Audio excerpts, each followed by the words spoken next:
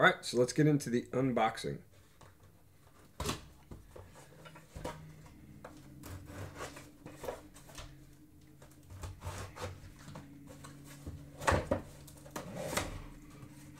Right.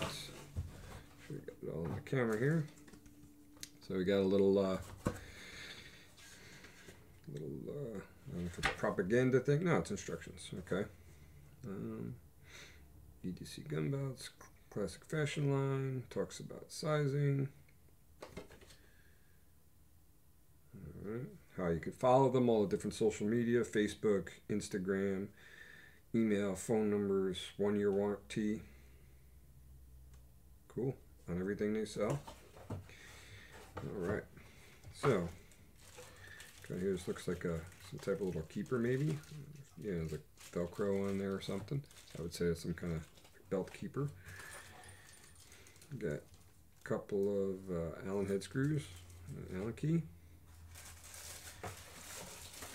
and we got belt itself. Aside for a second. And it looks like, uh, I think this is like hang in your closet. I think. Put that off to the side. And uh, belt buckle here. Cool. You can see the get it for the camera here. You can see that. I don't know if you can get it on the camera. You can see the teeth on that on that bad boy there. All right. It's a cool looking looking buckle. Take the uh, belt out of. I asked for the gray just for something a little different, you know. Alright. You can see it's uh, flat on both ends, or a little round on this side, and you got that. I don't know all the nomenclature yet, but that kind of ratcheting system that they use. So you put the two together when they overlap on your pants. Really not that thick, but it's pretty rigid. Let's try to squeeze it, and it's barely giving.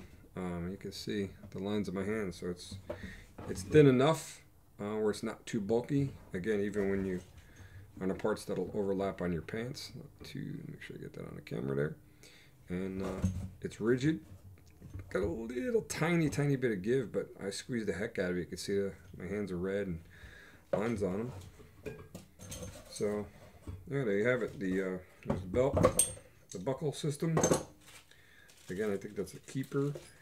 And I get, I'm not sure what the Allen keys are for. We'll take a look at the instructions and uh, go from there. Looks like it might be, is it spare?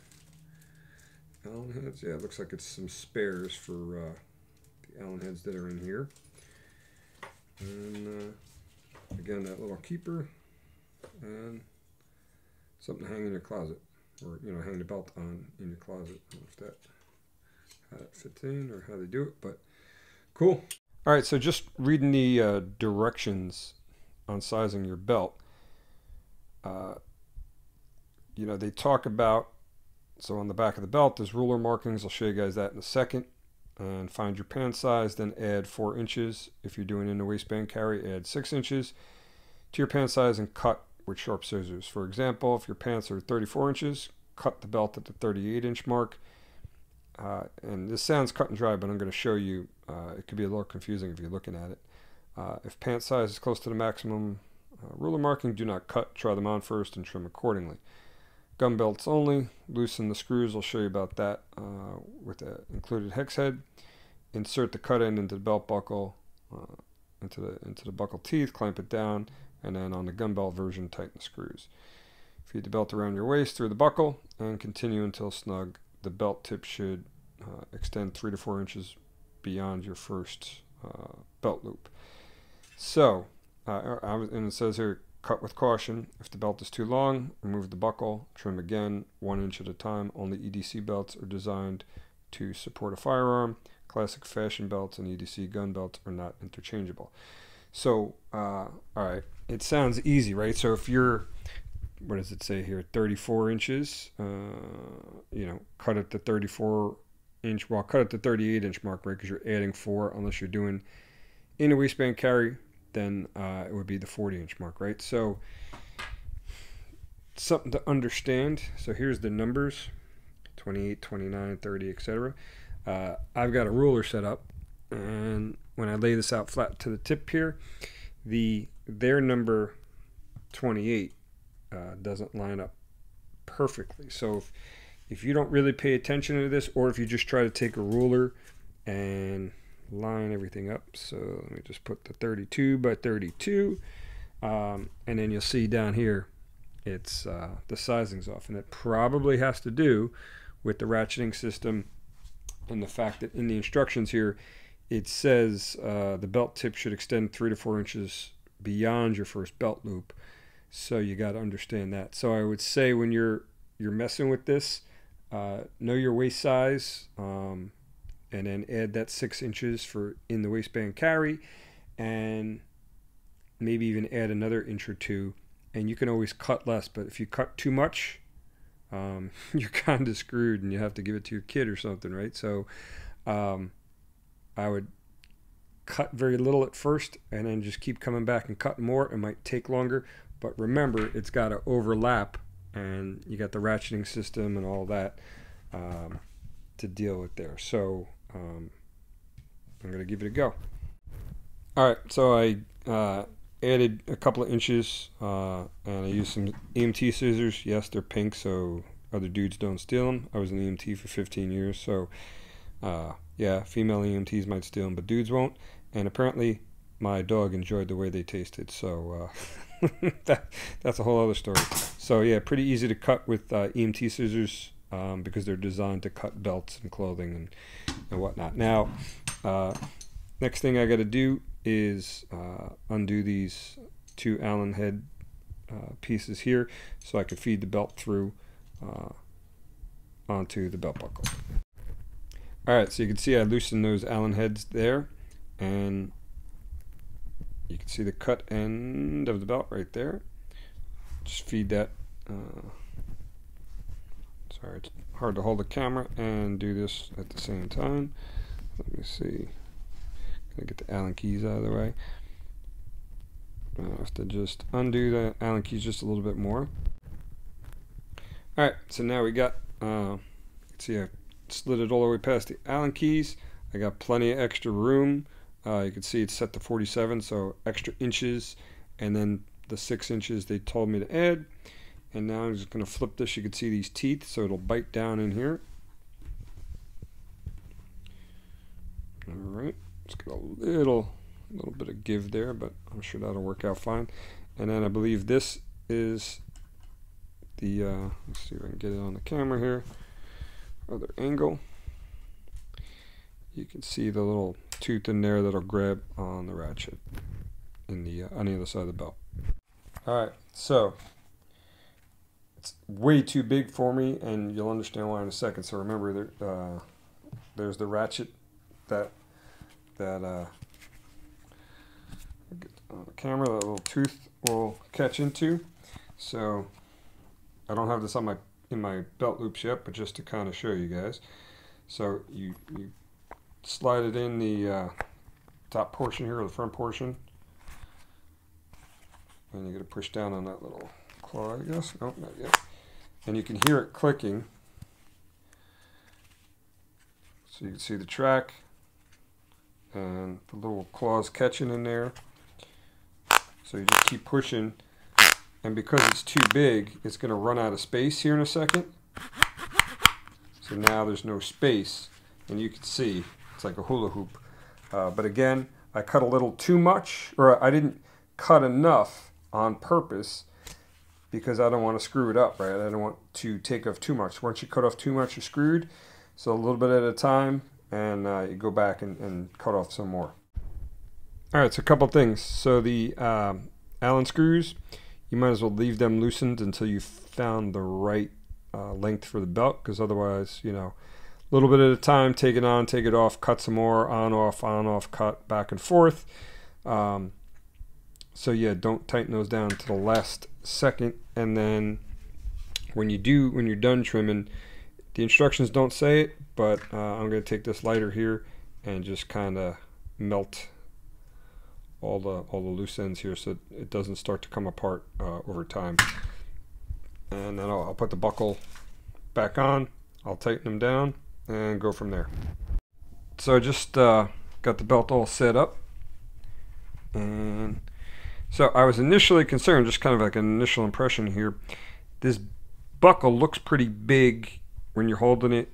And it kind of reminded me of that movie, I think it was called Pootie Tang, where the dude's swinging his belt buckle around and that was his power. I don't know, it was like a spoof movie or whatever. But anyway, uh, it's actually pretty good. I push it off to the side.